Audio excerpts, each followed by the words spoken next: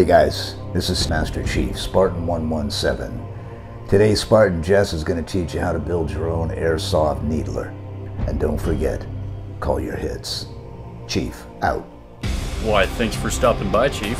I really appreciate it. Now getting into the tutorial, I would like to state that this video, without a doubt, would not be possible without my friend Ryan, the guy who invented this conversion. Ever since I watched the Swamp Snipers video about Ryan's custom guns, I just had to try to contact him. And eventually, well, I did. I just talked to him about my interest in creating a tutorial video about the Needler and whatnot, and at the end of the day, he was more than happy to teach me how to build the Airsoft Needler. And in doing so, He's technically the one teaching you guys. So make sure to show him thanks by following his Instagram. I'm sure he'll really appreciate it. So without further ado, let's combine the Boomco Needler with the Airsoft ARP9.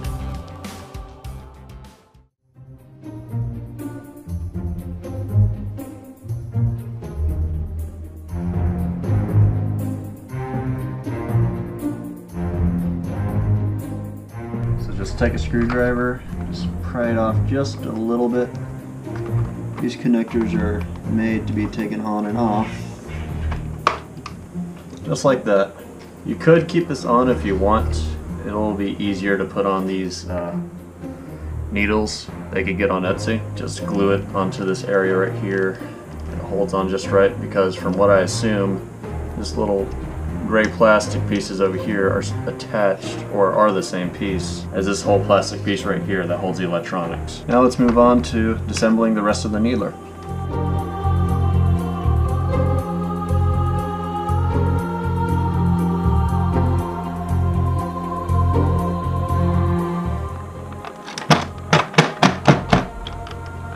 That is a lot of screws. Alright, let's see if we can take it apart real quick. And this is the internals of the Boomco Needler.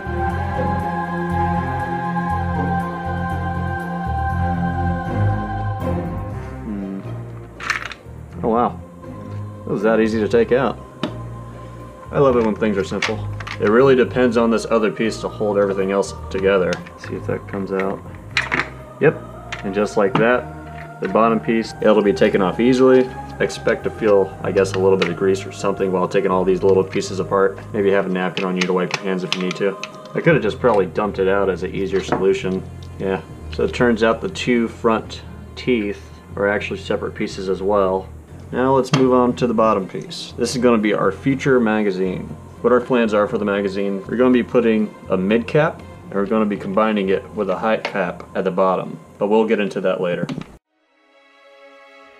Take off the barrel of the ARP9. The flash hider is optional if you guys want to take it off because I know how some areas are a little strict about yellow flash hiders on the barrel and whatnot. I'm going to be taking mine off and uh, we're also going to be taking this whole entire buttstock off. So let's get into it.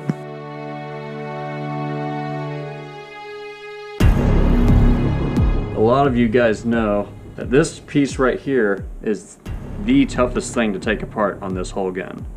So what I'm doing, I do not care about these sights at all. So one of my ideas, and you can see I've already attempted it a little bit, I'm going to use this and take a hammer and just beat that bad boy out. And since it's attached to the rail, it's eventually going to pop off. Just like that. After taking that part of the ARP9 off, now we're going to be taking off the flash hider. This step's pretty easy. We just hold this button down and take the whole extension off, just like that. Then we take this little button area off, just push down on this button, and that reveals the wiring to your battery. It includes a MOSFET, and I think it includes something that activates a three round burst for the gun. Just take it out gently, and all the way at the bottom there, you can see a Phillips head screw. So what we're gonna be doing is unscrewing that and this whole piece right here is going to come off. We got the battery wire out of the whole entire buttstock. This is where I got the Phillips head screwed out of the gun back here. It's supposed to uh, connect to the gearbox from what I understand. Make sure to be careful whenever you're taking the wiring out. So now that we took apart the whole entire buttstock and the barrel area, uh, make sure to put your screw they just took out of the, the buttstock put it back into the screw hole it came from because we're going to be using it later. This is going to be what we use for the needler conversion. We don't need the buttstock and we don't need this at all.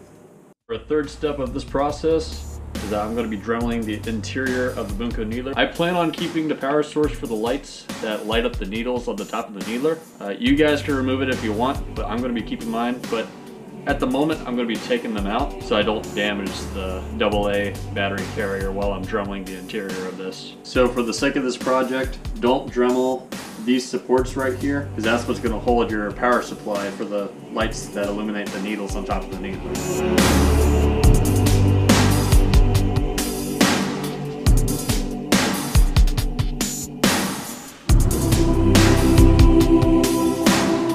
Alright, so one thing I would really like to note is the fact that this stupid bottom piece is probably the hardest thing to take apart out of this whole conversion, without a doubt. It's definitely harder than the barrel of the ARP9. The reason being is because there's a couple of uh, attachments inside that aren't really even necessary. Kind of like the attachments that uh, keep the screws in place on the inside. They're kind of like cylinder shape. So what I did is I dremeled around here a little bit and I also dremeled a little bit right here as well. Another thing to keep in mind is that there's two different kinds of plastic on here. The regular kind of plastic that comes with the Boomco needler, which is this dark blue, and this brighter blue.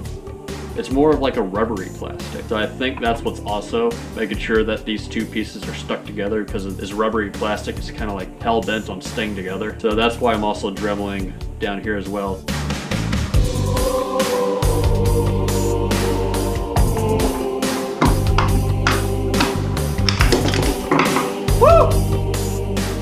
Did it! God! As I was saying, these are the unnecessary little supports. Now look at all that. I literally dremeled the entire bottom and almost the entire top as well. This conversion, good God, that, that was aggravating. But we did it, nevertheless. If I could do it, you can too.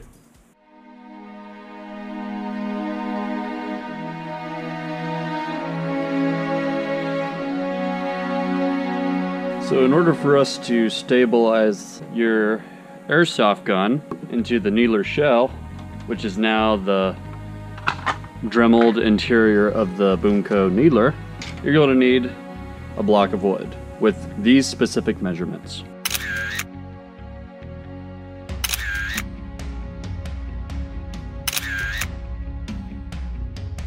So after creating our block of wood, try to place the block of wood on the barrel of your ARP9. Just uh, see where you want it, adjust accordingly whenever putting it in here. So whenever you place it here, make sure that the block of wood is straight. And we're also going to need to pre-drill two holes on this little, I guess we could say tooth right here of the needler and we'll do two more pre-drilled holes on the other side. That will give us leadway for our screws to go into the block of wood and into the plastic and hold our block of wood between the two plastic pieces. Now before we put our ARP9 into the Boomco shell, I made sure to put the two needler teeth right up here, back into the shell, and I also made sure to put back the power supply that illuminates the needles on top of the needler.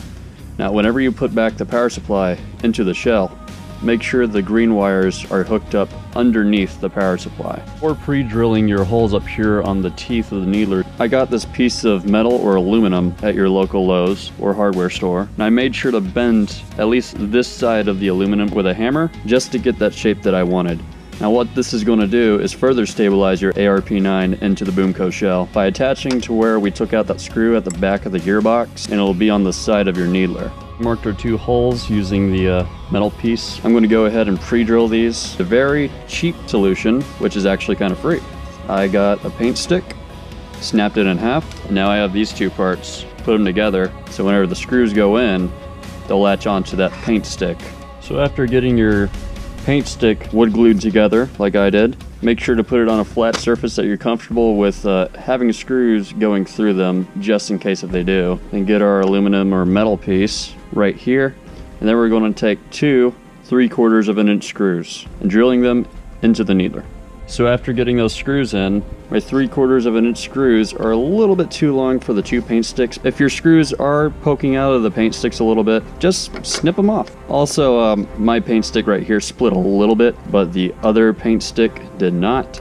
So whenever you're screwing in these screws, just make sure you're very gentle screwing them in and don't put too much pressure. Otherwise you'll split the paint stick super easily. That we're done screwing in the aluminum or metal piece into the Boomco shell, I decided to put the UAR in and put the other side of the Boomco shell on as well. And as you can tell, this is pretty well stabilized just because of this metal piece. And we haven't even uh, put in our screws into the top of the teeth yet. So I recommend putting in your aluminum or metal piece onto your UAR and the needler first before doing your screws on the front end over here. That way, you'll have a guaranteed area to where you know the screws will be going in. Just so you guys know, the two paint sticks was fighting me a little bit. That's without a doubt. That's why I put in these screws up here just to hold the needler in place while I do my work. Now I'm going to go ahead and pre-drill the holes into the wood piece up here and I'm going to be careful when I do so so I don't try to hit the barrel of my gun. So just go into the piece of wood gently and then come back out. You do not want to split this piece of wood. Trust me, I learned the hard way. If that ever happens, just get some really strong wood glue, clamp it back together, and try again. And if you're not comfortable with that, just make a new block of wood. I took this piece off because this was further making it a little bit harder for the shell to stay on. So that just freed up a little bit of space and it didn't mess with any of the functionality whenever I was checking the gun and whatnot. So that's good. Now, if you guys don't like the exposed wire look, you could always cover it up if you want. My friend Ryan, the guy who invented this conversion, he used a wire cover. He put it back here and he weaved the wires through that tube and up here. But in his part of the conversion, he didn't use the uh, power supply for the illuminating needles. So that's why I decided to weave my battery cord up into the gun. One, because there's a lot of space in there as it is. And two, because I think it looks pretty good and I don't want to do a lot more work installing this hose that's going to fight me trying to install it into this needler. And plus, I don't really mind the exposed wire look. I don't think a BB is going to be hitting over here anytime soon. But I do plan on covering this, the back of the gearbox and the wiring coming from it. And then eventually I was able to get my MOSFET up here and up top, this is where we're gonna put our battery. This top cap right here is gonna be placed on smoothly, just like that. And I honestly think you could probably keep it on without screwing it for gameplay purposes. For a fast battery replacement, you just easily snug it off, take it off, and boom, you get access to your battery. Now, granted, whenever you do that, it might not be as free and open like mine is, because whenever we're done with the conversion, I'm gonna plug this cord back into the power supply over here so one of the final steps of completing this Needler airsoft conversion is by trying to make the bottom part of the Boomco Needler into a combination of a mid cap and a high cap. And the way that we're doing that is we're going to be cutting our mid cap and high cap ARP9 magazines and combining the high cap part with a PVC tubing of one inch in diameter. All of your BBs are going to be held in the PVC tubing and the high cap. And with it wounded up in the back, it's going to feed the BBs through the tube and up into your mid-cap magazine. We have to fit all that inside of the bottom part of our needler. And as you can tell, I've already took the steps to Dremel this out a little bit more because the gun's mag well could fit into this bottom part of the needler. Also, I forgot to mention that you're going to have to Dremel the bottom part of your needler grip piece. Reason being is this is where the high cap part of your magazine is going to go and sit. So whenever you want to wind up your mag, this is where you get to wind up the wheel. Let's go ahead and disassemble our mid-cap magazine and get it ready to be cut on the chop saw. By disassembling the mid-cap ARP9 magazine, uh, take off the screw at the bottom that holds everything in place. And once you feel it loose, this will pop out and make sure you try to get the spring out of this. And the way you do that is you unscrew these screws right here and the spring might fling out at you, so just be careful when doing this.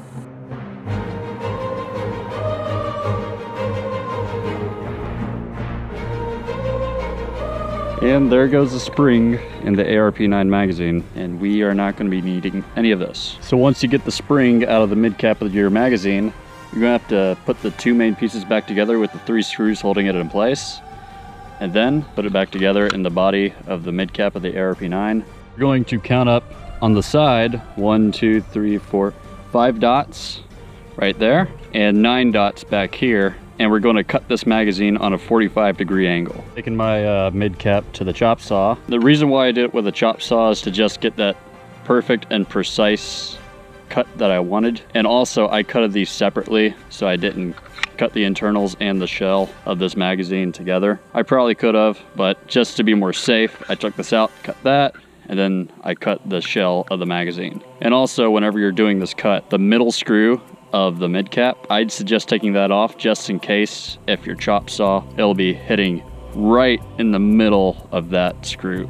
Our next step is trying to figure out how we're going to place our now cut PVC tubing into here. And the way that we're going to feed BBs into it is we're, we're going to take off the top part of the high cap magazine, cut this piece off, and we're going to somehow attach this piece onto the top and make a hole in the PVC tubing here so whenever you go to reload or put more BBs into your needler magazine, if you open this little flap, you can feed BBs through that way. Also make sure to cut your plastic tubing to seven inches. And this is what the inside of your needler magazine should look like. I drilled it up here so we could put our little entry port for our BBs to go in. And I also took our cut PVC pipe, measured about where exactly I'm gonna have it, and I dremeled accordingly to the hole. So after you have all your dremeling done, we're going to PVC glue or PVC cement our cap into our PVC pipe. So after dremeling a hole up here in our PVC pipe and attaching our cap, we're going to go ahead and try to attach the PVC pipe to our high cap magazine. And the way we're going to be doing that by using JB water weld, which is basically made for PVC and plastics. And what you're going to do is open it up, cut a piece off, mold it up a little bit, place of your epoxy stick right here, and also do it around the high cap and the PVC pipe. So the high cap and the PVC pipe will have a good connection and also cover that entrance right there. I decided to Dremel the bottom part of our PVC cap. So whenever we try to put our high cap right there and we apply our epoxy, the PVC pipe and the high cap are gonna be aligned. So after letting our epoxy stick cure and dry up for an hour, we're going to take some hot glue and glue the edge of our little BB port here and then put it right here. So after hot gluing our BB port on top of the magazine, we're going to take our tubing and try to hot glue it at the bottom of the high cap. Now the reason why we're using hot glue is if I mess up or if the BBs don't align with the tubing very well, it's easy to take off the hot glue and try again. Now before we attach the tube to our mid cap that'll lead up to the ARP9, we need to figure out how to attach the mid cap to the needler grip. The way we're going to do that by putting our cut mid cap into our ARP9 and put it right about where you want your mag to be set. I also noticed that whenever you put the mid cap flat, it's not exactly going to be centered whenever you put the other part of the bottom grip on. So what I did is cut a piece of wood according to the size of the magazine right here. And we're going to be putting screws from the outside through the wood and through the back of the mid cap. You don't want to do it in the front because that's where your BBs are going to feed. And we're no longer using the back part of the mid cap. So that's where our screws are going to be placed. So I ended up pre-drilling two holes on this side right here and I added two screws and in the middle you can see the piece of wood that I already cut out and the screws that go all the way through the wood, through the plastic, and through the magazine. Now that we have all this out of the way, we're going to try to put the other half onto our new Needler magazine. Now with that, it's pretty easy. Just put in the screws at the bottom right here. But one problem I'm having is that the back here isn't fully closed all the way. So what I plan on doing is getting this part to a hanger, attach it right here, and screw it in place to hold the back together.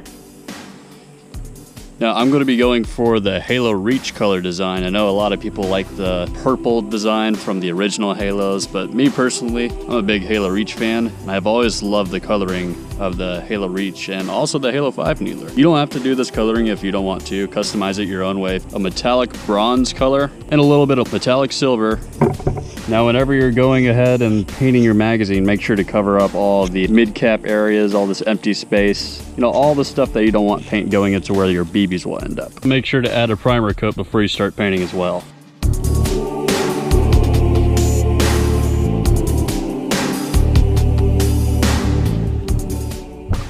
So now that we got our paint job finished, now the very final step, we're going to assemble our finished needler.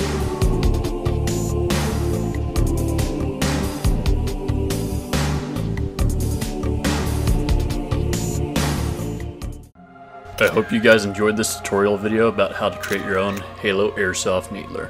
Again, I would like to thank Ryan for teaching me how to build this conversion, and in return, he's technically teaching you guys how to build this Needler. And even though this year seems to be like a pretty bad year for a lot of people, for us Halo fans, it's looking pretty bright. Especially with Halo Infinite coming from the horizon. And who knows, with the new deal with Nerf that Microsoft has made, some of the future Halo Airsoft conversion possibilities could be, well, infinite. So, Chief, would you like to send this video out with a bang? You betcha. Thank you guys for watching. Please like and subscribe. And don't forget, this is truly Combat Evolved. Chief, out.